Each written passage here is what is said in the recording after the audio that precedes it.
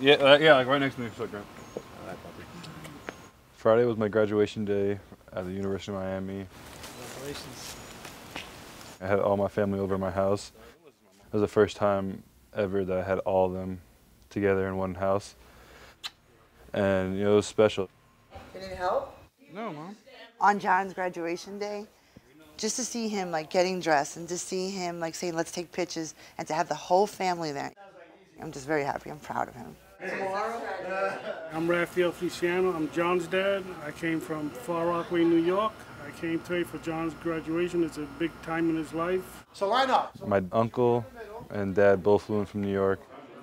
You know, my grandparents live down here. My brothers, my brother Raphael, my brother Christopher, they both came, and my mom. It was just a great time. Okay. Jon's the first to graduate in our family from college, that is, anyway.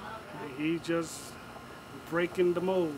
Just having Jon graduate in high school and then college was like the most amazing thing because out of our whole family, none of us did this. You know, I was the, kind of the only one that didn't have to get a job right out of high school, so they kind of let me do what I had to do and graduate college. He got a full scholarship to go to University of Miami, which very hard to do. He did it all himself. I mean, to play football, to be and get to where he got, he did it all himself. He had a vision and he did it. He fought and very proud. Coming to Miami was a goal since ninth grade, and going into my junior year, it became feasible. My coaches were telling me, you know, I have a real chance to play Division One football, and while at the time they were telling me that, at, at home, you know, everything wasn't too good, you know. Um,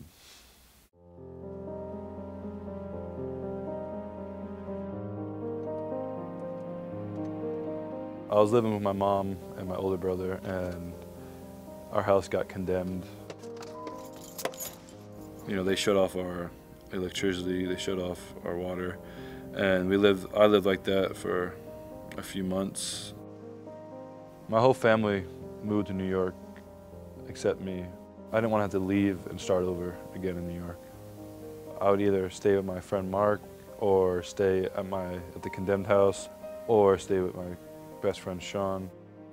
At that time, I didn't really think I could get through it, but football kept me away from the stuff I was dealing with at home. I started playing football because I, I wanted to come here, the University of Miami. When I got my scholarship to play O-line, you know, there was nothing better. You know, I committed right on the spot. I didn't want to go anywhere else.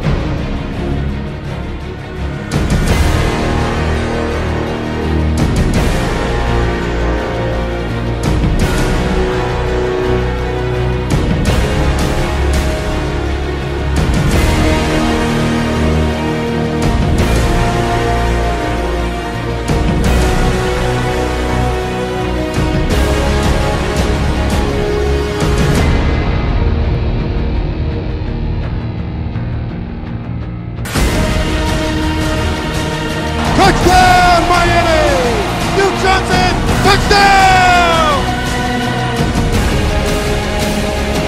For the end zone, in Coley, he's got him! The ball's loose, Miami has the ball! Stacy Coley goes all the way, got him! Touchdown, Miami! Intercepted by Miami, Tracy Howard. Duke Johnson running left, Duke Johnson, touchdown!